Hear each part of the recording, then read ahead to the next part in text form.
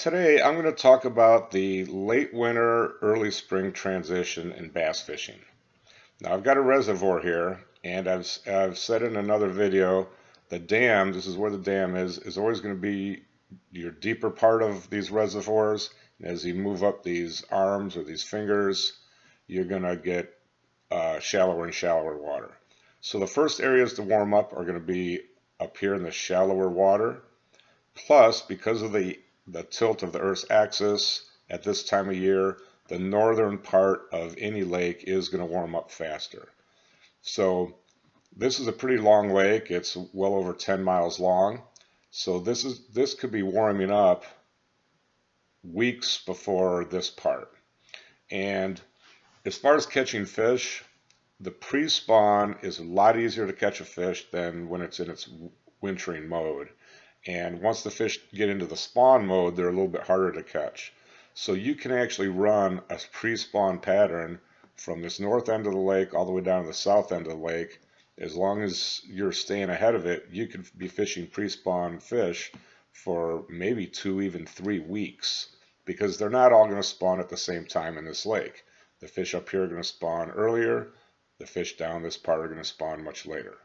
Now let's look at this from a microscopic point of view and let's zoom in to a portion of the lake. So I'm going to be down here near the dam.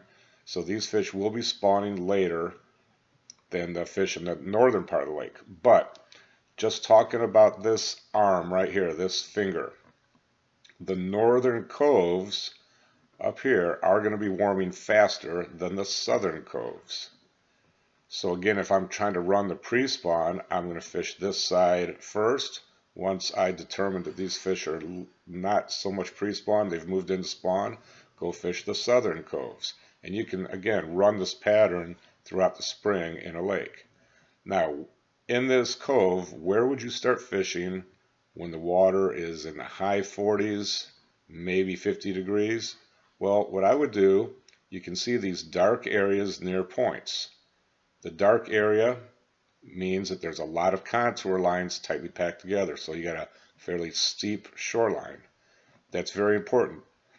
When the fish are coming out of the wintering mode, they tend to stay in the steeper banks as they gradually move in back into these pockets for the warmer water to spawn. And they'll hold out here. They might stay and transition there for maybe a week, 10 days, two weeks. It all depends on the weather. If the weather isn't changing much, they could stay out here and just hold. So these are some areas I would first start. Right along these points, again, trying to stay on the steeper, steeper portions, all of these around here. As the fish start to move in, this is where they're going to move into spawn. And again, if you want to fish the spawn, that's fine, but this video is about fishing the pre-spawn. Again, once these fish start to vacate and start to scatter, go down and do the same thing on the southern coves because they're going to be just warming up a little bit slower than the ones north of that. So that's a couple of tips to help you with pre-spawn. Now in reservoir lakes, it's pretty easy to find points. There's points all over the place. There's coves all over the point place. Let's go to a natural lake and contrast that. I'm going to go up to Madison, Wisconsin where there's a chain of several lakes and I'm going to go to the biggest of those lakes, Lake Mendota, which is right, the state capital is right in here. And this is a good sized lake with very deep water.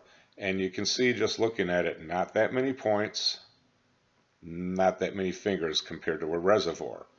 But even zoomed out this far, I bet you could probably guess where spawning should occur first. Yeah, it should be up here in the northern portion. You can tell by these contour lines, this is pretty shallow. We've got some water that's coming in from a couple of different arms or some creeks. And this should be the earlier part of the spawn. Now, can I still catch fish down in here that are going to be spawning? Yes, I can, but it could be a week or two weeks, maybe even three weeks later than these fish up here. So this is where I would first want to start exploring. But again, this video is about the pre-spawn, so I don't want to go up into here. So same thing as the reservoir, I'm looking for tightly packed lines that are fairly close to spawning grounds. So over here, over here and I'll zoom in a little bit more. You can see this is really steep. In fact, there's a very deep hole. I'll let this catch up and come into focus. So you've got a very deep hole. This is 80 some feet deep and this is only 10 feet deep right here. So very steep.